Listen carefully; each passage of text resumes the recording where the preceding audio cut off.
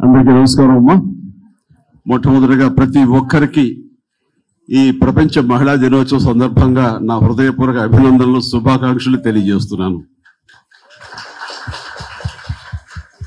ఇది ప్రత్యేకించి ఈ కార్యక్రమం ఈ రోజు ఇలా చేయడానికి అంటే గతంలో ఎప్పుడు చేస్తుండొచ్చు బట్ చేయలేకపోవడానికి ఇప్పుడు చేయడానికి కారణం ఏంటంటే ఈ మధ్యకాలంలో నేను షూటింగ్లో విరామ సమయంలో కూర్చున్నప్పుడు ముఖ్యంగా మీరు మీరు పడే శ్రమ మీరు తీసుకునే శ్రద్ధాశక్తులు మీరు ఆ ఎండలో పడి అక్కడ అంట్లు తోమడం దగ్గర నుంచి ఆ ప్రొడక్షన్ విషయాలన్నీ అన్నీ కూడా మీరు చాలా చక్కగా చేయడం చూస్తుంటే ఎంత కష్టపడుతున్నారు వీళ్ళు. వీళ్ళ కష్టానికి ఇంకేమీ కోరుకోరు. ఒక ఎప్రిసియేషన్ ఒక చిన్న అభినందన అని అనిపించి అది ఈ రోజైతే బాగుంటుంది అనిపించింది ఆ విషయాన్ని నేను సురేఖ చెప్పగానే ఆ రోజైతే కనుక వాళ్ళందరికీ మన ఇంటి ఆడపడుచులాగా వాళ్ళు చక్కగా మంచి చీరలు అవి పెట్టి మరి నోటు నోరు తీపి చేద్దామని అనేసరికి నాకు చాలా సంతోషం వేసింది. అలాగే చేద్దామని ఈ రోజు ఈ కార్యక్రమం అలా ఏర్పాటు చేయడం జరిగింది ఇది. అండ్ మీరు పడే కష్టం చూస్తుంటే నిజం చెప్తున్నాను నాకు నా చిన్నతనంలో మా అమ్మగారు పడే కష్టం గుర్తొచ్చింది. మా అమ్మగారికి పదహారో సంవత్సరం పూర్తి అయ్యి అవ్వకముందే నేను బిడ్డగా జన్మించాను. అమ్మకి బిడ్డనైనా ఆడుకునే వస్తువునైనా నేనే. అలాంటి ఆ చిన్న తల్లికి నేను అబ్జర్వ్ చేస్తుంటే తను ఉదయం లేచిన దగ్గర నుంచి ఇల్లు ఊడ్చుకోవడం దగ్గర నుంచి బయట వెళ్ళి కళ్ళాపు చల్లి ముగ్గేసుకోవటం లోపలికి వచ్చి రాత్రి మిగిలిపోయిన వ- వస్తువులు పాత్రలన్నీ క్లీన్ చేసుకోవడం దగ్గర నుంచి మళ్ళీ నాన్నగారికి బ్రేక్ఫాస్ట్ చేయడం దగ్గర నుంచి నాన్న వెళ్ళిపోయిన తర్వాత బట్టలు ఉత్తుకోవడం దగ్గర నుంచి మళ్ళీ మధ్యాహ్నం లంచ్కి సంబంధించి ఆ దంచుకోవటాలో రుబ్బుకోవటాలో నూరుకోవటాలో ఇలాంటివన్నీ కూడా చేసి ఆ తర్వాత బావిలో నీళ్ళు తోడుకుని తనే తీసుకురావాలి. ఎందుకంటే ఆ- ఆ- ఆ రోజుల్లో మాకున్న ఆర్థిక స్తోమత ప్రకారం మేమేమి సహాయకుల్ని అసిస్టెంట్స్ పెట్టి చేసే ప- పరిస్థితి కాదు మాది. అన్నీ అమ్మే చేసుకోవాలి. అందులో నాన్న తిండి విషయంలో ఏమాత్రం కాంప్రమైజ్ కాదు. ఆయనకి కక్క ముక్క ఉంటే కానీ భోజనం ముద్ద దిగదు ఆయనకి. సో అవన్నీ కూడా రెండు పూట్ల చేయాలంటే ఎంత కష్టమో మీకు తెలుసు. అండ్ రాత్రి పడుకునే వరకు అమ్మ పడే శ్రమ అంతా ఇంత కదా. ఆ తర్వాత అమ్మ అలసిపోయి పడుకుంటే ఆ చిన్న బిడ్డగా వెళ్ళి అమ్మ కాళ్ళు నొక్కుతుంటే నాకు తెలియని బాధ. తెలియనిది. అమ్మ కూడా వద్దు నానా అంటుండేది కానీ ఆ తల్లికి ఆ సేవ చేయటంలో అమ్మబడే కష్టం నాకు చిన్నప్పటి నుంచే నాకు ఉండిపోయింది. అందుకని నేను స్త్రీ పక్షపాతిని అయిపోయానేమో ఫెమినిస్ట్ని అయిపోయానేమో అని అనిపిస్తుంది. అదే ప్రధానమైన కారణం నాకు. సో అదే తరహాలో ఎవరైనా సరే కష్టపడుతుంటే నాకు అమ్మలే గుర్తొస్తారు అందులో. మా అమ్మే గుర్తుకొస్తుంది. అది ప్రధానమైన కారణం. ఈ రోజున ఈ మహిళా దినోత్సవం రోజున మిమ్మల్ని అందరినీ ఈ రకంగా చిన్న చిరు సత్కారం చేసుకోవడం కారణం. అదే రకంగా నాకు ఆ స్త్రీ పక్షపాతగా ఉండటానికి మరో కారణం సురేఖ. సురేఖ అల్లువారి ఇంట్లో అల్లువారి ఇంట్లో గారాల పట్టి ఆఖరి బిడ్డ. కానీ మా ఇంటికి వచ్చేసరికి తనే పెద్ద కోడలు. ఇంటి పెద్ద బాధ్యత తీసుకోవాల్సినటువంటి పరిస్థితి తంది అండ్ ఆ సమయంలో మా చెల్లెళ్ళు కానివ్వండి మా తమ్ముళ్ళు కానివ్వండి అమ్మా నాన్న కానివ్వండి అన్నీ తనే చూసుకునేది. మెడ్రాస్లో అందరూ షిఫ్ట్ అయిపోయిన తర్వాత. అండ్ వాళ్ళు ఎవరెవరికి ఏం కావాలి ఏంటి ఎవరికి ఏ సమయంలో ఏమి అందివ్వాలి ఏం చేయాలి అనే దాని మీద పూర్తి బాధ్యత తీసుకున్న సురేఖకి క్షణం తీరుకుండేది కాదు. నేనంటారా పూర్తి నా దృష్టి నేను నా సినిమాల మీద అంత ఫోకస్ చేసి పెట్టడానికి ప్రధానమైన కారణం నేను సక్సెస్ఫుల్ హీరోగా ఉండటానికి ప్రధానమైన కారణం సురేఖ దానికి కారణం ఏంటంటే నేను ఏది పట్టించుకోనక్కల నా తమ్ముడు ఎలా చూసుకున్నావు? నా తమ్ముడికి ఏమి ఇస్తున్నావు? పండగ వస్తే ఏం పట్ల కొంటున్నావు? నా చెల్లెలకి ఏ నగలు కొంటున్నావు? నా చెల్లెలు ఎలా చూసుకున్నావు? ఏ చీరలు కొంటున్నావు? అమ్మకి ఇవన్నీ నేను చూసుకోవాల్సిన అవసరం లేదు. లేకపోతే నాకు పెద్ద బాధ్యత కదా. అండ్ అదేం లేకుండా హండ్రెడ్ పర్సెంట్ నేను నా సినిమాల మీద దృష్టి పెట్టడానికి ఏమాత్రం నేను ఆలోచించకుండా నా కుటుంబం పట్ల ఉండటానికి ప్రధానమైన కారణం సురేఖ కాబట్టి ఈ మహిళా దినోత్సవం రోజున సురేఖను కూడా మనస్ఫూర్తిగా ఎప్పుడు పబ్లిక్లో నేను అభినందించలేదు. ఆ రకంగా సురేఖని అభినందిస్తున్నాను. Thank you so much. ఇంటికి వెళ్ళిన తర్వాత నాకు ఎలా ఉంటుందో తెలియదు రియాక్షన్. అది పాజిటివ్గా ఉంటుందా? ఎమోషన్ అవుతుందా?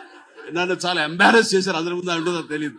గాలికి వదిలేశాను అలాగే నా చెల్లెళ్ళు వీళ్ళందరూ కూడా అంటే ఈ మధ్య చిన్న ఇన్సిడెంట్ జరిగింది. సురేఖ తన గెస్చర్ ఎలా ఉంటుంది అంటానికి కోకాపేటలో నాకు ఒక ఏదో యాకర్స్ ఉన్నాయి. బాగానే ఉన్నాయి. ఉండిన తర్వాత ఎప్పుడో ఏదో దాని ఏమంటారు అక్కడ ఏదో ఒక ఇల్లు కట్టుకుని లేకపోతే ఫామ్ హౌస్ కట్టుకుని ఉందాము పొలం పనులు చేసుకుంటూ ఉందాం అనుకున్న భూమి ఈ రోజునది ఫ్యూచర్ స్మార్ట్ సిటీ అయిపోయే రోజులు అలాగ వచ్చేసింది. ఒక్కొక్క ఎకరం అరుగు కూడా కొన్ని కోట్లు పెరిగిపోయింది.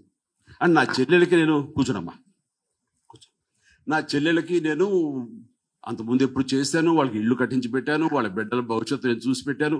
వాళ్ళందరూ ఇప్పుడు స్థాయికి ఎదిగారు. నేను వాళ్ళకి ఏమీ చూసుకోవాల్సిన అవసరం లేకుండా అంత చక్కగా వాళ్ళందరూ ఉన్నారు. కానీ తను అంది మనం అనుకోకుండా ఇంత భూమి అది పెరిగింది కాబట్టి ఎంతో కొంత మళ్ళీ చెల్లెలకు కూడా మనం ఇస్తే బాగుంటుంది కదా అంటే ఏ మహిళ అయినా సరే నేను తప్పు పట్టం కాదు కానీ తనకి బిడ్డలు ఉన్నారు. అంత ఎదిగిన స్థలం అంత పెరిగిన స్థలం ఉంటే తనకి తన బిడ్డలకి తన భర్తకి ఉంటుంది కానీ ఇంత చేసినా మళ్ళీ ఆడపడుచులకు మళ్ళీ ఇవ్వడం ఏంటి అని అనుకుని ఉండొచ్చు అనుకోవచ్చు. నేను తప్పు పడ్డం కాదు. అలా కాకుండా ఇస్తే బాగుంటుంది సలహా బాగుంది కదా కరెక్టే. రేపు వదిన వాళ్ళ పిల్లలు వాళ్ళ వాళ్ళ జీవితంలో చూసుకుంటే వీళ్ళు హ్యాపీగా ఉండాలంటే కనుక ఆ భూమి ఉంటే ఎంత ఆసరాగా ఉంటుంది. మంచి సలహా ఇచ్చేవారు ఓకే. అని అన్నాను అయిపోయింది. నేను పనిలో పడి మర్చిపోయాను. మళ్ళీ ఆగస్టు ట్వంటీ సెకండ్ మొన్న రక్షాబంధన్ అదే రోజు నా పుట్టినరోజు. వచ్చిన రోజున కొద్ది రోజుల ముందు గుర్తు చేసి ఇది త్వరగా చేయండి లేకపోతే మళ్ళీ ఆ రోజున ఇవ్వకపోతే ఇది అందం ఉండదు. చేయాలనుకో చేయండి ఆ రెండు ఎకరాలు అలా ఇవ్వండి.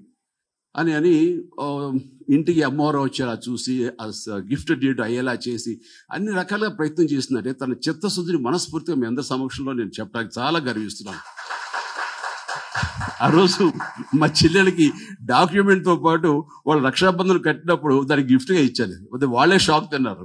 సో అలాగా ఒక ఇంటి ఆడపడుచు ఒక ఇంటి బిడ్డ మొత్తం కుటుంబం సక్సెస్ఫుల్గా ఉండాలంటే తన ప్రధానమైన బాధ్యత వహిస్తుంది. అందుకనే మహిళలు వాళ్ళ పాత్రలు కానీ వాళ్ళ బాధ్యతలు కానీ కుటుంబం పట్ల వాళ్ళ ఇది కానీ అత్తగారి కుటుంబం కానివ్వండి నా అమ్మగారి కుటుంబం కానివ్వండి ఏదైనా సరే ఆ రకంగా పూర్తి బాధ్యతలు తీసుకుని మీరు ఇంత కష్టపడుతుంటే కనుక నిజంగా చెప్తున్నాను మీ అందరికీ చేతులెత్తి మరొకసారి నమస్కరిస్తున్నాను. ఈ రోజున మహిళలు ఒక ఇంటి పట్టిన ఉండి పాత్రలు కడుక్కోవడం అని నేను ఇంటి బాధ్యత ఇలాగే మాట్లాడుతాను అనుకోకుండా అలా ఉండాలని కాదు. వాళ్ళు దీన్ని మించి ఎంతో స్థాయికి ఎదుగుతున్నారు గగనానికి ఎదుగుతున్నారు. చెప్పాలంటే ర్యాకెట్లు ఎక్కడెక్కడికో ఎదుగుతూ చంద్రమండలాలకు ఎదుగుతున్నారు. అండ్ స్పోర్ట్స్లో మనకు ఒలింపిక్ మెడల్స్ కూడా తీసుకొచ్చే స్థాయికి ఎదుగుతున్నారు. అండ్ వాళ్ళు చేసే ఇవి అంత మిలిటరీలో కూడాను ఎయిర్ ఫోర్స్లో కూడా వాళ్ళు యుద్ధ విమానాలు నడిపే స్థాయికి వెళ్తున్నారు. అది మనందరం గర్వించదగ్గ గొప్ప విషయం. ఆ స్థాయికి స్త్రీలు వెళ్ళాలి. స్త్రీ శక్తి అంతవరకు వ్యాచి వ్యాపించాలి. దానికి మనందరం కలిసి ఎంపవర్ చేయాలి. అలా చేయాలంటే ముందు మన ఇంట్లో ఉన్న మన స్త్రీల్ని మనం ఎంపవర్ చేయాలి. అమ్మల్ని ఎంపవర్ చేయాలి. చెల్లెల్ని ఎంపవర్ చేయాలి. మన బిడ్డల్ని కూతుర్ని ఎంపవర్ చేయాలి. వాళ్ళకి ఆ శక్తి వాళ్ళకి ఇచ్చేలాగా మన పరి మన యొక్క భావజాలం ఉండాలి.